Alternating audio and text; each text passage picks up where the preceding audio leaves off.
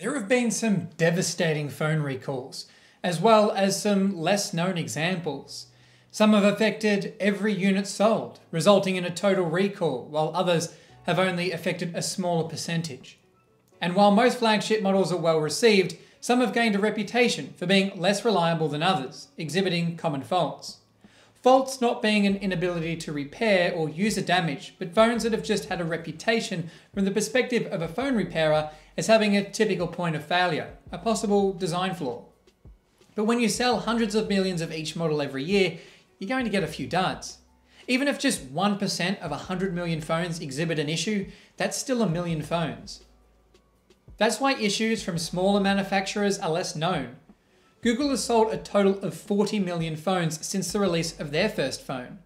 The Google Pixel's most notable issue was with their first model, which developed a microphone fault. Google acknowledged the fault and said they would replace faulty phones, saying it affected less than 1% of devices and was caused by a bad solder joint on the audio IC. Samsung has seen the worst of a tech recall, with two recalls on its infamous Galaxy Note 7. A recall I think everyone remembers. Nothing is more devastating than a phone that is going up in flames not once, but twice, with battery fires affecting both the original and recall replacement devices resulting in a total cancellation of the entire phone model. I think out of every phone ever released, the Galaxy Note 7 takes the crown for the most devastating recall. But it wasn't the only issue Samsung phones have faced. Some Galaxy S7 phones stopped powering on or charging at all. Samsung has also had some trouble with early models of their Galaxy foldables, with the folding display breaking very easily. To this day, foldable screens are still not as durable as their flat counterparts, and while they have improved, there is still plenty of examples online of phones with fractures where the display folds. As such, I'd personally class foldables as the least reliable class of devices. Apple's had quite a number of what they call service programs, or as you and I might call them, recalls. While it may be seen as a bad thing to have so many devices eligible for free repairs to known faults, it does show Apple's commitment to ensure their users are looked after, at least for most of these issues. To be fair, a lot of these issues pose no safety risks, although there have been some battery recalls, including a model of devices that contained a battery that may overheat and pose a fire risk. It was the 2015 MacBook Pro. So if you have a 2015 model MacBook, check your serial number on Apple's website. But thankfully, the iPhone has never had a major recall like that of Samsung's Galaxy Note 7. But that's not to say every iPhone model has been perfect. There have been official service programs for the iPhone 12, 11, 10, 8, 7, 6S, 6, 5, and 4. That's almost every major generation. Some issues were thankfully smaller than others, or only affected a small percentage of devices. The first widespread issues were seen with the iPhone 3G and 3GS, specifically around batteries. Quite a number expanded like balloons, and because of the way the phones were designed at the time, an expanded battery could damage the back housing, logic board, and display, essentially destroying the whole phone. The redesigned iPhone 4 that followed didn't suffer from the same issue, but a number of other issues. Many remember this model as one of the best designed iPhones and have fond memories.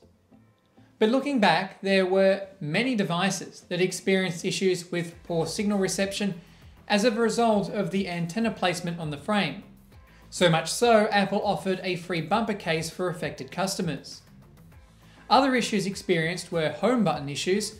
The fix for most was just bending the charging cable down to realign the home button cable or microphone issues where no one could hear you in a phone call, a board level issue that didn't have a simple fix. The 4S was certainly an improvement on the iPhone 4, fixing the antenna issues, but it introduced another Wi Fi problems. Some devices developed an issue where you could no longer enable Wi Fi. The proper fix was to reflow the Wi Fi chip. However, some found heating the chip with a hairdryer was enough to return Wi Fi functionality, even if only temporarily. My personal favourite model of iPhone, the 5, had two official repair programs, including one for bad batteries and another for power buttons that stopped working. The 5S perfected an already good phone and was one of the first of Apple's phones in many years not to get a service program, or an issue repairers would class as being too common. Although some did suffer from a red screen of death caused by bad NAND storage, although I don't know how common this issue was. The 6 proved to be Apple's best selling iPhone so far, at over 220 million units sold, but it became known for its problems. Most notably, it could bend. This structural issue is the likely cause of the no service and no touch issues that would surface sometime after its release. It's believed that the flexing of the housing that came with general wear and tear was to blame. The no service issue, which resulted in no detection of a SIM card or network, never received an official service program, but the touch disease problem did. Although it remains one of the only programs where Apple acknowledged the issue but continued to charge a repair fee, although discounted, for affected devices, as they didn't believe it was truly a design flaw, rather user fault. But many disagree. The 6S would bring another battery recall for devices with weak batteries that would cause random shutdowns. Along with a no power issue that would also see a replacement program, it appears this issue was specific to the later 32GB model that launched as a cheaper alternative after the release of the iPhone 7. It too had its own issues, including another no service issue that this time received a service program for devices in selected countries. However, the 7 also suffered from a board level audio issue, like the iPhone 4. However, this time it caused the whole phone to no longer boot up, keeping it stuck in a boot loop. This issue became known as loop or audio disease. I covered this issue several years ago, and despite it not receiving a dedicated service program, I was able to get an out of warranty device replaced at the time. Whether because of consumer protections in Australia or Apple was somewhat acknowledging the issue, I don't know for sure. I have witnessed all these issues mentioned so far, having dealt with repairing many phones over the years. However, I can't say as though I've ever come across this next issue, which affected iPhone 8 models.